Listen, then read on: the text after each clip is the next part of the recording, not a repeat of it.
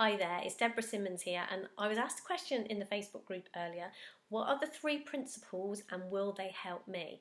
So that's a really great question, but I thought I would just pop in and do a really short video, as short as I can make it, about what the three principles are and how they help people.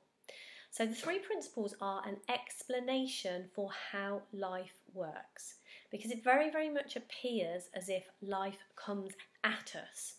And what the three principles point to and explain is how life comes through us. So everything that is happening isn't happening to us, it's happening through us. And a byproduct of beginning to understand this is that our life gets better. So how does that happen as a byproduct? If I'm absolutely honest with you, I don't truly, truly know how that happens.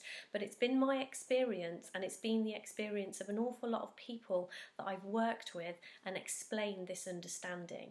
Because as we see our life in front of us, as we see our problems happen out here in the world in front of us, it appears that that is where we need to sort our problems out. It seems that we need to get into the story of what is going on in our life and sort sort our problems there. What the principles begin to point to and to help you understand is that actually the place to sort our problems out is the place where our experience was created, not where our experience is playing out. So the principles are mind, thought, and consciousness. And the names really don't matter, it's what they're pointing to that actually matters. They are metaphors or signposts or something to help you understand what it is we're talking about. Because we're talking about things like love or air or gravity, things that aren't solid things that you can put in a wheelbarrow so that you can just know them.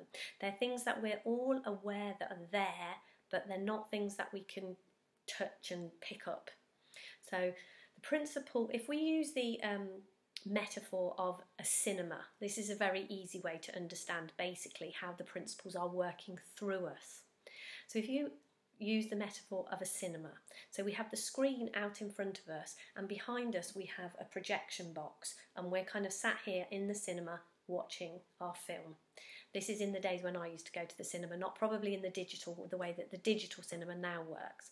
If we go back to when we used to have the project the projector in the projection room.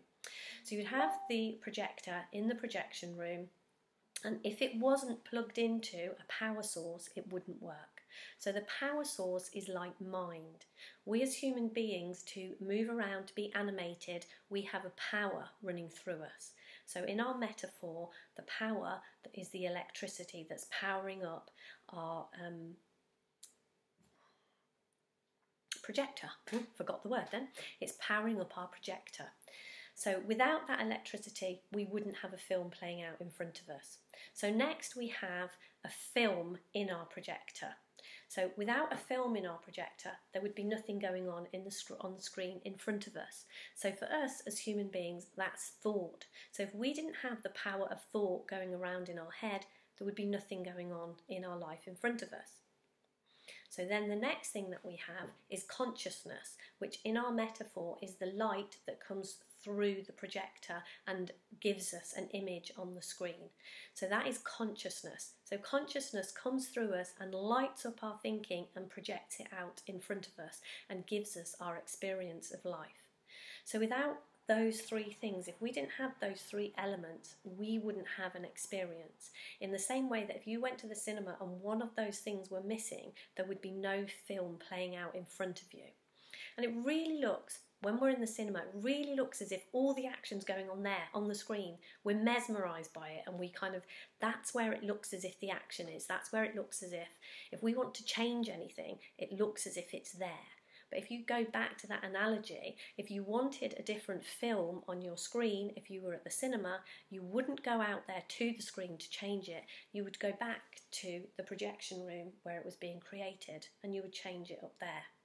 Now, what happens as we begin to understand that this is how life works, as we begin to get a deeper, insightful understanding of the principles, what happens to us is that that changes our experience. That is like going back to the projection room and changing our film.